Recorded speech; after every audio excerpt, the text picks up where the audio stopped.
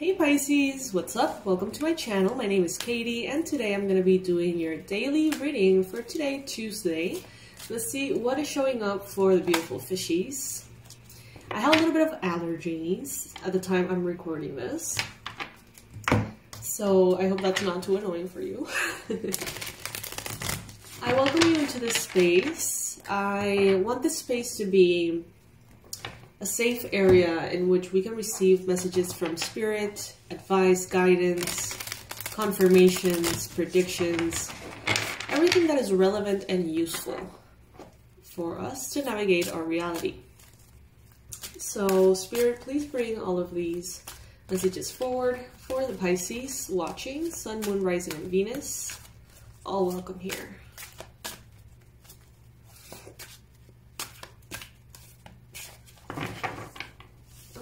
Let's see. First card showing up here, we've got the Queen of Pentacles. I'm going to go ahead and lay the full spread before beginning with the messages. This might take a minute, so please be patient with me.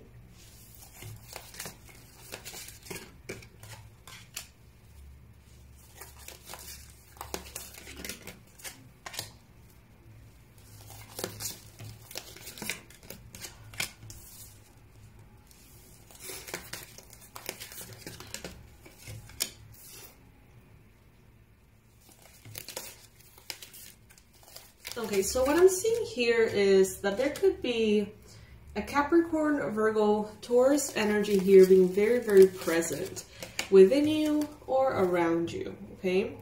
This could be an energy of desiring stability. I, am getting this like very motherly vibe of wanting to, kind of, I heard play house, but like the vibe that I'm getting is actually kind of like really focusing on making the home sustainable, beautiful. I see someone kind of like working with gardens, you know, and making sure that the stability, the financial stability is there. Also, the emotional stability is there in order to open new chapters. I see her holding this baby here in the image, and it's leading me to think of new phases, right? New beginnings. So maybe you want to expand your family, Pisces. Some of you might. Others of you may want to expand into new territories, but you want to maybe make sure that everything that you have already gone for is stable, is um, grounded, possibly protected as well. For some of you, this is definitely an expansion of the family because we have here in the near future the Ace of Wands. This is a card of fertility. This is a card of passion, sexuality, a lot of very fiery energy that brings life into things. So it's often associated with, you know, um, kind of like a heightened fertility that if that's what you're going for, great. If that's not what you're going for, then, you know, be careful with that. But it also talks about fertility and creativity in all areas, even like artistic, personal, you know, all those kind of things. So very soon, you're getting a lot of inner fire and inspiration to live life to the fullest and truly enjoy every bit of it. In your mind space, you've got the Ace of Cups. So yeah, lots of thoughts around emotional new beginnings.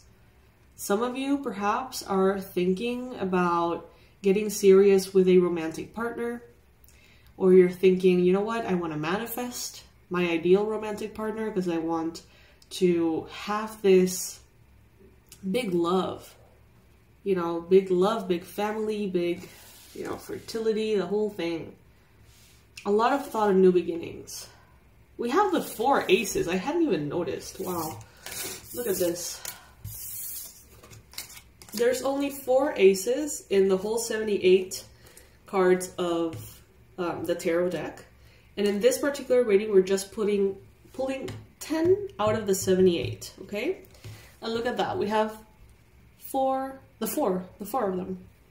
Each one of these is a new beginning in different areas, right? Each element, each um, suit represents a different element. New beginning in Pentacles, Pentacles, Earth, earthly matters. New beginnings, this would represent new beginnings in your health, new beginnings in business, money, wealth, okay, stability, financial success, career success, home. The wand here is representative of the element of fire. A new beginning in fire would be everything related to inspiration, passion, vitality, your energy, motivation. Here, with the cup, the cup is water. Water is emotion. New beginning and everything emotional. Healing, personal development, romance, relationships, connections. The swords is air. Air, a new beginning in air. Air is the mind, the thoughts, perspectives, the communication, words. So new beginnings in those areas too. And this is letting me know, Pisces, that you are being completely renewed is what I'm getting. Sort of like when a snake shed sheds its old skin and the the new skin, the bright skin, is right underneath and starts to kind of like shine through. And you can see the quality and the beauty of that like fresh, fresh, um, really saturated color in the snake's skin. That's what I'm getting here with your life in a way. So for some of you, this is a life that is going to start looking aesthetically better, if that makes sense. More colorful, more saturated. Now, what does that mean? What I'm getting is maybe um, social media, your social media getting very um, kind of like beautiful, you know, very beautiful images and representations of what you live on the day to day. Maybe if this is about your art, your music, your writing, things becoming just so beautiful, you know, so noticeably, so beautifully loud. I don't know, like the the beauty's loud here. The the the beauty that, that you see, okay? The aesthetic. In the challenge though, you may feel like you have been sort of waiting for something for a while and it's taking maybe longer than you would like. You've been trying to be patient. You've been really focusing on being in your center, you know, healing, remaining in your balance perhaps, trying your best to have, you know, the best attitude towards everything. And you may feel sometimes that like you wonder like how how how much longer do I have to be patient about this? Like is this ever going to happen? For some of you this could definitely be related to fertility. Take it if it resonates. It's like you see things coming. You see your manifestations coming. You feel the energy arriving, but it doesn't seem to just kind of like fully manifest. That will not apply for all of you, just for a few of you, so, you know, take it if it resonates. We had a lot of earth energy here with the King of Pentacles, Queen of Pentacles, and the Hierophant. So in your environment, you may be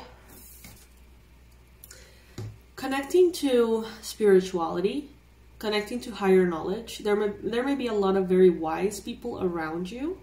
This could be older people. It doesn't have to be necessarily, but I do see you almost like tapping into the wisdom of the elders around you, really respecting the experiences that they have gone through, kind of like really asking questions, allowing their experiences in whatever area to be enriching for you. I see here as well that the energy of marriage, religious, or spiritual dogma is present here in the environment. Also, possibly a Taurus may have a lot of answers for some questions that you may be asking life or asking yourself. Pretty much the message here is whatever question you have, it's most likely to be answered by your inner wisdom or a Taurus person who has a lot of inner wisdom. Does that make sense? For those of you who are waiting for this uh, pregnancy fertility moment here, there is a time of high likelihood of pregnancy in the near future for you, okay?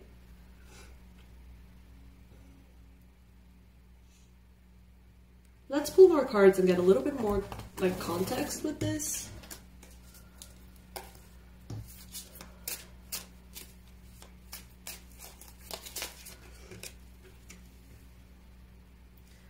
There could be a situation in which you're trying to be very objective. You feel the need to stand your ground and really make your boundaries very clear perhaps towards a earth sign or a fire sign. Trust yourself, okay? Trust that you know when something is right and when it isn't. In your mind space, there is um, a level of grief and it seems like you're getting excited about something new, walking away from the grief of a previous situation and starting a new chapter that is not filled with grief, but instead filled with joy and colors and excitement, okay? Since that grief has been experienced in your mind, mind space, there may be, to a certain extent, a fear of things going south, which I think is always a part of, you know, life. Ten of Wands. This is a message for those of you who are um, desiring to get pregnant and have a child make sure that you are in a moment in your life in which you're not going to get overburdened. Like, try your best to have everything under control before even trying, if that makes sense. Not that we ever can, but you know what I mean. If your life feels like a total mess right now, maybe it's not the right time. In the recent past, temperance, and then we have here the hangman.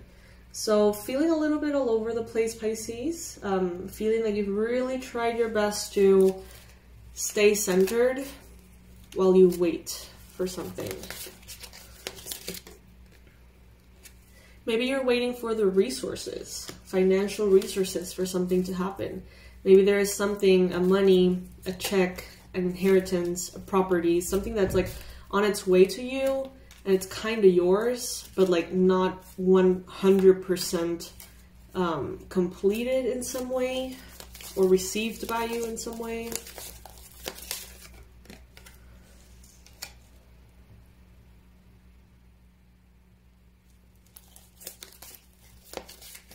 You're making the right calls, okay? You're making the right calls, you're making good decisions. You are making decisions that are very fair for you and others, but most importantly, that are fair for you. Because, you know, a lot of you, we've talked about this, a lot of um, people from the Pisces sign or, you know, collective tend to be generous to a fault sometimes. And in this case, I feel like you are, um, most of you, taking charge and saying, I'm going to honor and protect what I've been building and make sure that I am being fair to myself before even being fair to anyone else, you know? Not walking all over other, other people, but you know, fair and square, right? Three of Cups in the environment. Um, a lot of wisdom could appear, maybe hanging out with the Tauruses, going for a drink, just, you know, having some kind of like socialization, social time, and conversation may come up and you may realize that the wisdom pouring out of them almost seems to be channeled at this time, almost feels like spirit or as if you were getting kind of like a reading. But this is just maybe a friend talking to you or someone that you meet at a restaurant or whatever, you know. The messages are going to be channeled by people around you. Eight of Pentacles. Hard work will definitely get you there, but just make sure that it is not the only component to your pursuit. Ask Spirit, pray, connect, you know? Make sure that you're co-creating with spirit and not just creating out of like muscling through things in life. Oh my god, last card that we have here, the sun with the ace of pentacles. Talking about babies, look at that baby right there. Someone here is getting pregnant. Someone here has been craving this for so long. Okay, this is happening for you. Most likely, if this is resonating with you, you can expect very shiny, powerful energy. If you are connected to a Leo in some way right now, that could also be a confirmation for you. There's a gift from God here, a brand new beginning. Don't fear um, financial issues if you are waiting or wanting a baby, because these will be solved for you, okay? All right, Pisces. So interesting reading, a little bit of everything, a little bit all over. Um, but I hope that everybody got at least one message that applies um, for them, you know. And I hope that this space always provides a space of contemplation and relaxation, even if the reading is not necessarily for you. We always, you know, talk about life experiences. Sometimes advice comes up, sometimes quotes come up. And I do believe that from every single reading, something can be kind of like, you know, made the most of. So, yes, my loves, I got this like Virgin Mary little thing here that's catching my attention. That could be a confirmation as well about this like fertility and, you know, motherly energy for some of you. Anyway, I hope you guys are doing great. I hope you are having a wonderful day today. And check out in the description box all the news. There's new news, there's new things going on, exciting things going on. So you can check them in the description box below. I love you to the moon and back, and I'll see you in the next reading. Bye.